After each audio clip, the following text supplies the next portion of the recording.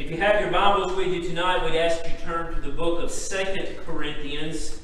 Second Corinthians chapter 4, and we're going to begin reading in the very first verse. Second Corinthians chapter 4, in the very first verse, the Bible says, Paul writing to the church at Corinth the second time, Therefore, seeing we have this ministry, we have received mercy, we faint not but have renounced the hidden things of dishonesty, not walking in craftiness, not handling the word of God deceitfully, but by manifestation of, tr- of the truth, commending ourselves to every man's conscience in the sight of God. But if our gospel be hid, it is hid to them that are lost, in whom the God of this world hath blinded the minds of them which believe not lest the light of the glorious gospel of Christ, who is the image of God, should shine unto them. For we preach not ourselves, but Christ Jesus the Lord, and ourselves your servants for Jesus' sake. For God, who commanded the light to shine out of darkness, and have shined in our hearts to give the light of the knowledge of the glory of God in the face of Jesus Christ. I'd like to preach, the Lord be my helper tonight, on the thought, casting a light in dark places. Dear Lord, we thank you for your goodness and watch care. Lord, we thank you for your mercy and grace, Lord, and uh, for the provision of health that we might be here tonight. Lord, we thank you for the traveling mercy that brought us this way, Lord, that uh, we were uh, able to be here. Lord, we thank you for the safe travel you've given Sister Brittany and the boys back home here. We give you praise for that. We pray for Brother Ashley tonight there in the home that even in that place that he uh, might sense your presence, that he might know that you're there with him. Lord, tonight we pray that you would give us, as we receive it, Lord, allow us to preach as you preached unto us, Lord, and we be faithful to give you the praise for it. Lord, it's in Christ's name we do pray. Amen. Now here we uh, find Paul again writing the second time to the Corinthian church, and what he really addresses is darkness. Uh, what he really addresses is the lack of light. And today we live in a day that is very, very dark.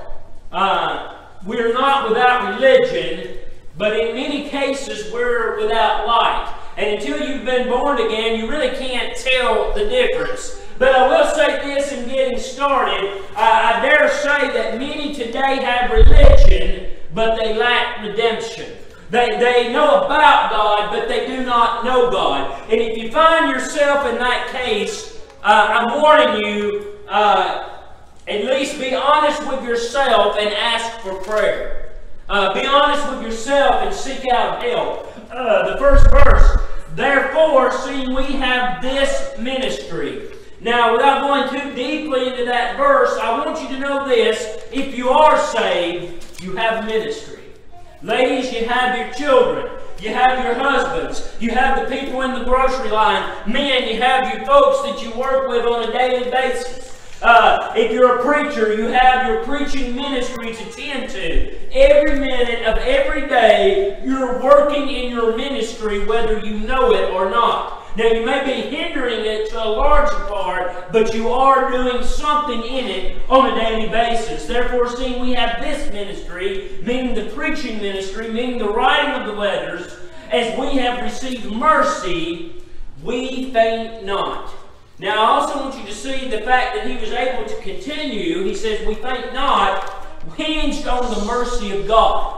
Uh, you know what keeps you here tonight is the mercy of God. That you, you know what gives you the strength to get here is the mercy of God. You know what may give you smooth travel to the house of God tonight? The mercy of God. And if we could see that, we would be more gratified and be more happy to come to the house of God. Verse 2 But have renounced the hidden things of dishonesty.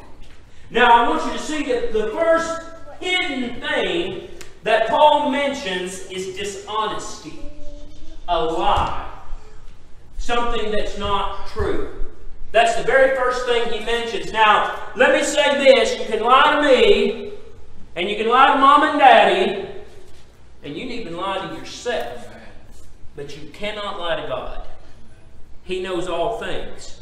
So the first thing that he says, well, one issue you have, one thing that's going on is this dishonesty. So it would be helpful tonight if God would send the Holy Spirit down and we could just be honest if nothing else. But have renounced the hidden things of dishonesty, not walking in craftiness. Now, I was trying to really get my mind and my heart around why did he put this word craftiness in this spot? Well, craftiness is when you try to fool someone. And you know what? This is the sad part. I see as many trying to fool people into the, the being saved as fooling them with the way of salvation. You know what? I can save nobody. All I can do is point to the sinless Son of God. And that's all we can do.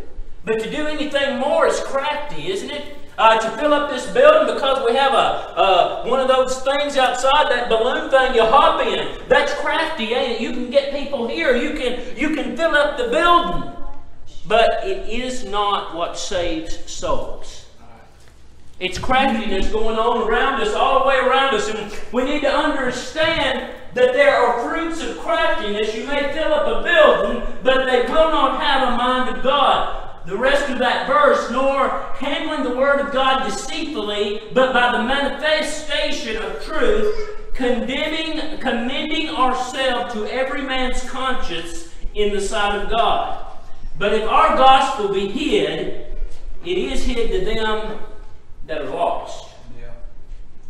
Now, and did the Lord save my soul, the gospel made no possible sense to me whatsoever. Now, I'll tell you a gospel that does make sense to a lot of people.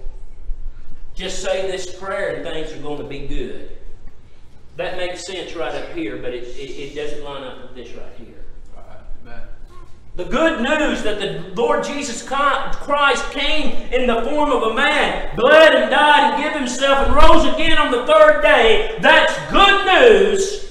And only the Lord can make you understand that. Only the Lord can open your eyes. So if you have anything less than that, I would look at myself real carefully because you don't need to be deceived. You don't need to be pulled in and, and, and, leave this place on your way to hell. We do not need to do we do not need to do that. So I want you to see the first thing is this the gospel can be hid. It can be obscured. It can be difficult to see, and many times it is. Verse 4 For we are in this tabernacle I'm sorry, verse 4 In whom the God of this world hath blinded the minds of them that believe not, lest the light of the glorious gospel of Christ, who is the image of God, should not shine upon them. Now, I want you to see, he makes it very clear the, the oppressor, the God of this world, has blinded many, many. Now, uh, when I say that, listen to me carefully. Those of you that claim to be redeemed, be sure you're not blind. Be certain that you haven't been slipped a counterfeit. Be, be very, very cautious that you know, that you know, that you know. Think back to that time tonight and see what you really have. What was that man preaching concerning the things of God? What, what was he showing you as the means of salvation? It's a very important task, and you know what I found? The redeemed don't mind doing it, but the lost don't like it. And so what we what we need to do is just evaluate ourselves tonight with the help of the Holy Ghost, and the, that the Holy Spirit might show us exactly where we stand uh, in the person of Christ. Verse five: For we preach not ourselves but Christ Jesus the Lord, and ourselves for your and, and ourselves your servants for Jesus' sake. For God who commanded the light to shine out of darkness. Now, do something a little bit different. Everybody close their eyes. Everybody to go. Justin. Everybody the building. How many how many fingers do I have up? All right, Neil, how many, how many fingers did I raise? No one can tell me because you had your eyes shut. Had five fingers. Now, it is hid. It is hid to many people. You know why they can't see the gospel? Is because the Lord has never opened their eyes. Just as surely as you didn't know how many fingers I, up, I had up, most people don't understand the gospel of the Lord Jesus Christ. Far too simplistic for them. And then on the other hand, it's out of their reach and they know it. Salvation is out of our reach, whether we want to want to accept that or not, because God has to bring it to you and not the other way around. And, and so we find we find then that Paul is reminding the church at Corinth that they were in a blinded situation. For God, who commanded the light of, to light to shine out of darkness, has shined in our hearts to give the light of the knowledge of the glory of God in the face of Jesus Christ. So he turns the lights on and you begin to see. You know what? I wouldn't trust anything in the light of salvation if I didn't see my inability first. If you think you did something, if you think you conjured something up, you be careful. And I'll say more than that, and also this if somebody talked you into something, you be very, very wary. You be sure that you see through the eyes of God and not see through, see through the eyes of man. I tell you what, hell is a very big reality one day. You better know that you're going to face it the right way. So how can we know? What, what do we know? Uh, how can we learn this? Well, first of all, let me say this. Two things.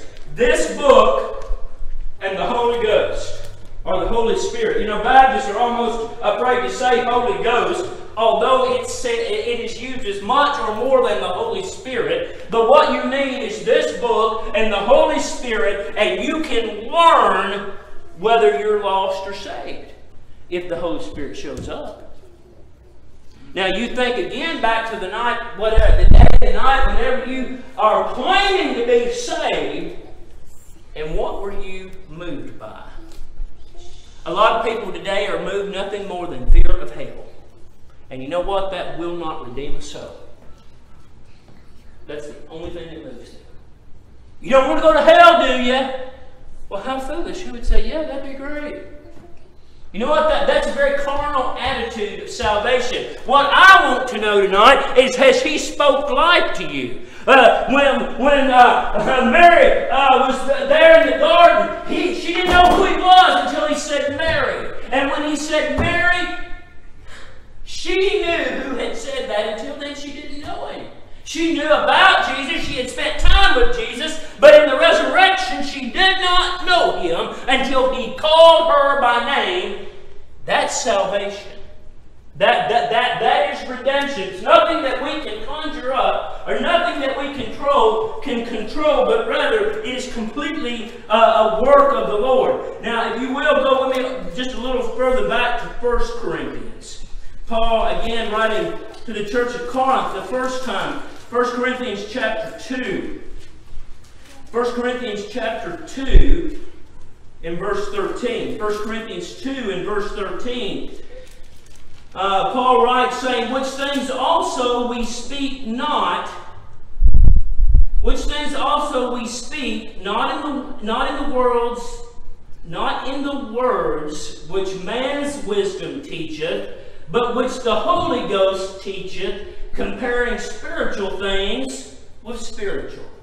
Now, did you get that? Again, we see that reactive agent in there, the Holy Ghost, and we have to have that com- comparing spiritual to spiritual. So, did you have a fleshly encounter or did you have a spiritual encounter? Did you go through what somebody told you to do? Did you do what say what somebody wanted you to say, or did you meet God? Compare spiritual to spiritual. We, we can't we can't go by this intellect. You know, uh, I, I, can tell you about the time the Lord saved me, sometime in June of 1981. But you know what? If I get so demented one day, I can't remember that. What I will remember is the work of grace He did in my heart. So there's a huge difference in that. You know what reminds me of June 1981 is this head.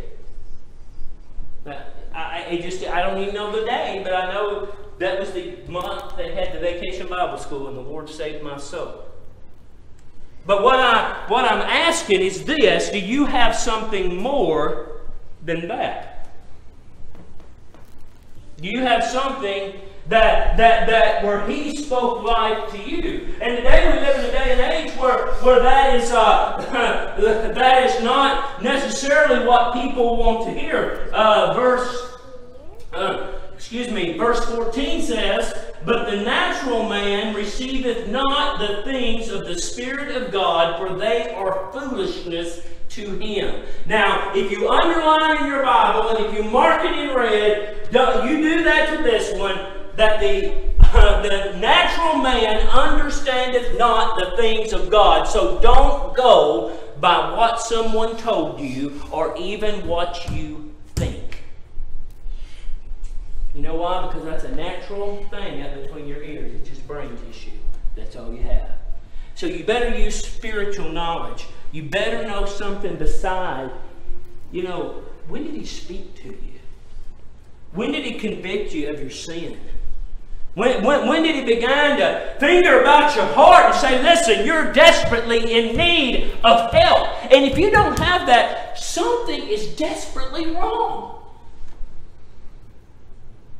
We, we need to be mindful of these things. Now, we're going to read a couple of characters in the Bible uh, very quickly, and, and it will show you, hopefully, a couple of things uh, that we can remember about this. Go with me.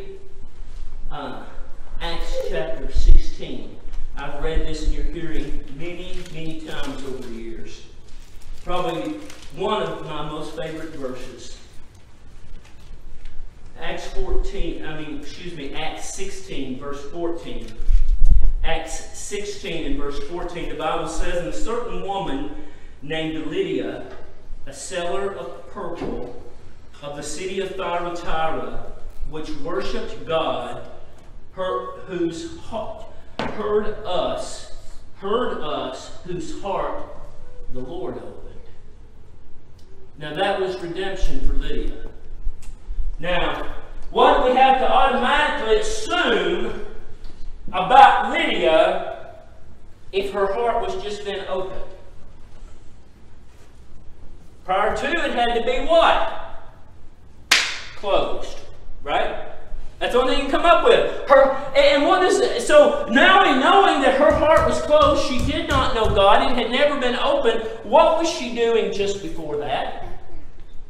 Worshipping.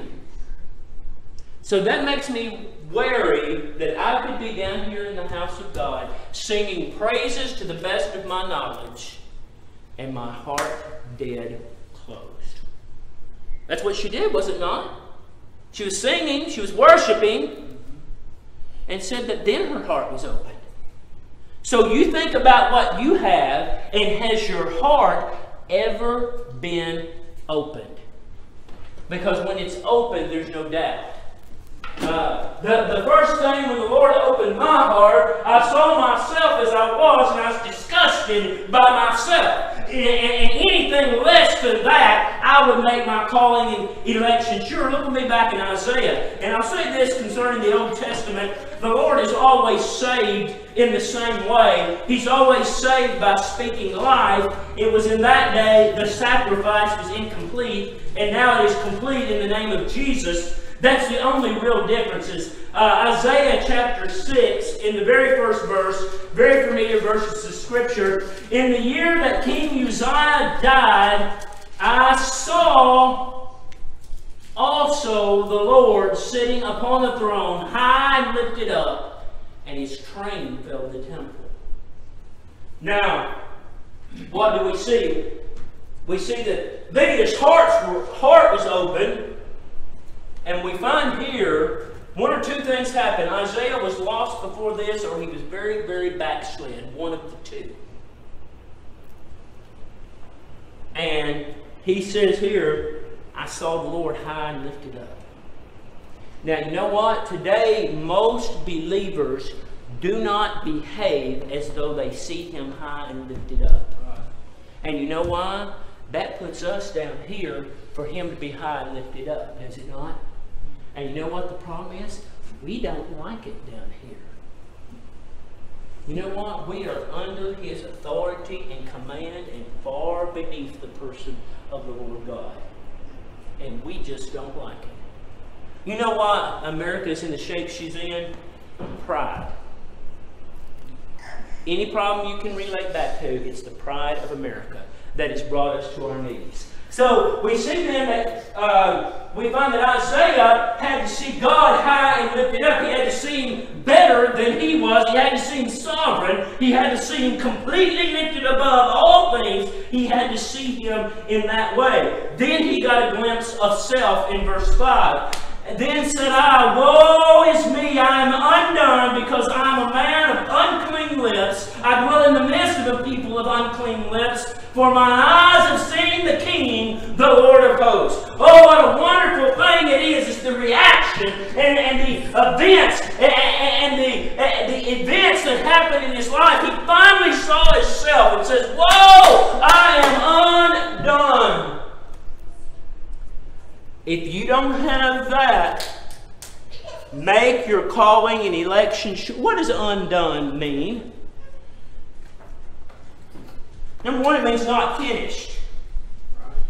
Ladies, what's the first thing you do usually when you get out of bed besides a cup of coffee? Make up the bed, right? Why? Because it's undone. It, it's not complete. It's out of order. And so, whatever you're trusting tonight for salvation, if it didn't reveal to you by the Word of God and by the Holy Ghost that, first of all, you were undone, I would desperately look at myself. You need to know that you need grace before grace is employed. You, you don't see yourself that way. You know what? This little sinner's prayer junk that goes on, and, and listen, you better look at yourself real good tonight. And if that's all you're trusting, you better look at yourself good, and I mean business, because there's nothing in it. And then you look at your heart. And you know what redeemed people do? It breaks out on them like chicken pox. Everybody know what chicken pox is? I can pick it out and look across the road and see if the child's got chickenpox. And if it didn't result in good works, if it didn't result where you had a thriving love for God, I would have trusted. Right? So we find then that Isaiah had this person, this experience of seeing God and then seeing himself, and he was disgusted by what he saw within himself. We should not encourage people to feel good about themselves in sin, and that's about what we're down to, is making ourselves, uh, making folks feel good about themselves. You know what? Uh, what we need to do is make people see reality, and if it, if it upsets them a little bit, good. And if it helps them, well, that's good too. Look with me in the book of James, chapter 1, verse 23. James 1, verse 23. For if any be a hearer of the word, every one of you have heard me tonight. Listen to me very carefully. Your blood is clean from my hands. For if any be, anybody, if any be a hearer of the word and not a doer, he's like unto a man beholding his natural face in a glass. For he, for he beholdeth himself and goeth his way, and straightway forgetteth what manner of man he was. So you look at yourself in the spiritual mirror. You know, from time to time, you forget about what you look like. You look at yourself, man, I, I, I really don't look that good. And you go away. I know, uh, you, you, know, you really made an impression on somebody. Uh, a woman at the hospital, one of the nurses Monday, and she goes, "Oh man, I like your beard. When'd you grow that out?" And I said, "Well, I've had it 20 years." and so you can see, she probably wasn't really paying attention, right? And I think a lot of times we're the same way. We, we don't pay attention. You know what? This life is not a joke. This is the real deal. Not everything is funny. Not everything can be swiped away. You know what we need to do? If you want revival in October, you know what's going to happen? Is we're going to have to wipe some of that junk away and get down to the point where we mean business with God. Be serious about it. Listen, we don't have much time left. According to the scriptures, we could go out of here tonight. And, and, we must be about our Father's business. And so we see, we see in this reading then that James is very specific. He says, we need to do something with ourselves when we see it. So if we see ourselves cold and indifferent, we need to do something. If we see ourselves lost, seek the Lord. Look in that mirror tonight. What do you see? I look in the mirror. I know the Lord saved my soul back in June of 81. When I look in the mirror, that's all I see. When I look in the mirror, as pitiful as been, I've tried to serve Him. Look in the mirror. What about your behaviors? How have you acted since God intervened? That's in your mirror. How concerned are you about eternity? What gets the bulk majority of your time? I've been really thinking heavily letting Facebook go. You know why? Because it's getting a lot of my time, a lot of my attention. And simply, I don't have it to waste. So saved people look like saved people. They spend their time on things. And I understand, uh, I'll, I'll, say two things. I understand that we have, the, we, we have the frailty of this flesh, and sometimes you just do something else. But at the same time, it should be our natural desire to love the things of God. And if you love the things of God, and if video games or Facebook or a TV show is getting in your way, the best thing you can do is let it go. And you know what? If you don't have that desire, make your calling and election sure. Does video games mean more to you, or does it cause Christ? Uh, you know what? In reality, it cannot be both ways. I don't know of a video game ministry. Gospel of Matthew, chapter 16.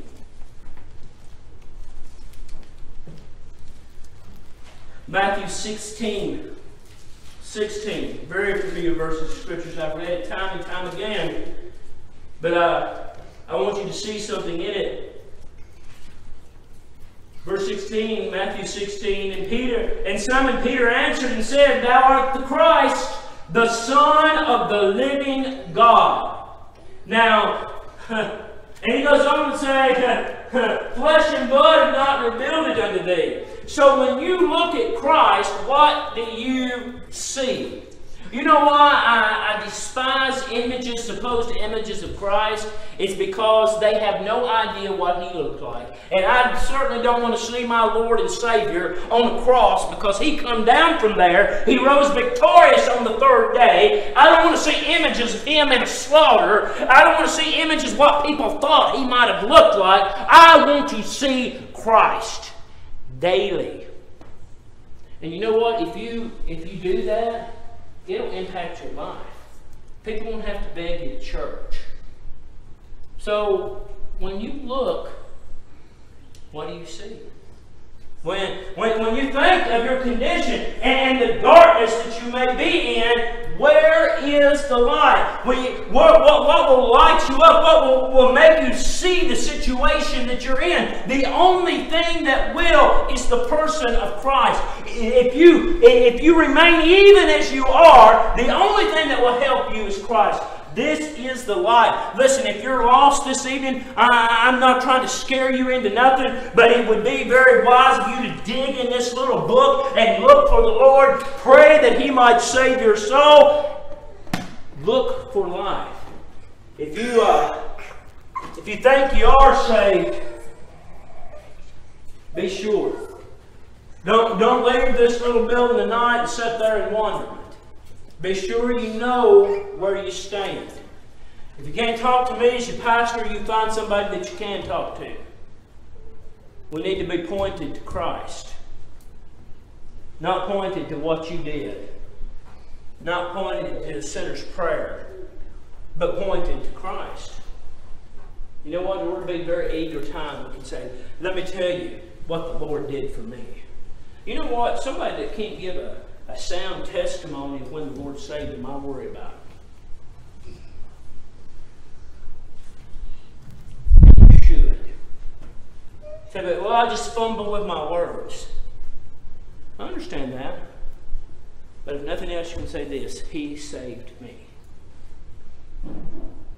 And if you can't have that, if you don't understand that, make your calling and election short tonight. Because you, you may not be here Sunday. You, not, you, you might be the one, well, I never would have thought that. And so make your, make your calling and election sure. Uh, ask the Lord God if He would, would light up the darkness, that you might see yourself for who you are and where you're at, because we desperately need that. We need to take a long, long look at self.